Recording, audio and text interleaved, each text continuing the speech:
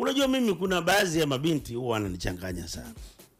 Hivi mnajua sisi wanaume hatuna ujanja wowote wa kusababisha ujauzito isipokuwa kushiriki. Yaani mwanamke kama ametuliza kichwa chake, utakatua, utapalilia, utaweka matuta, utapanda viazi, husikii amepoteza wala ana ujauzito hata kwa miaka kumi, kama kichwa chake kiko smart, na kila kitu mtashiriki. Yeye ndio refarii wa hiyo kitu.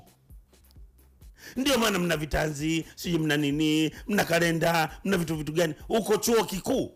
Unakuja kutuletea habari za kipuzipuzi hapa, tukazi nitakujadili ujinga hapa Eti nimepata ujauzito na sasa ninadanganya sitakalipa hela kutoa.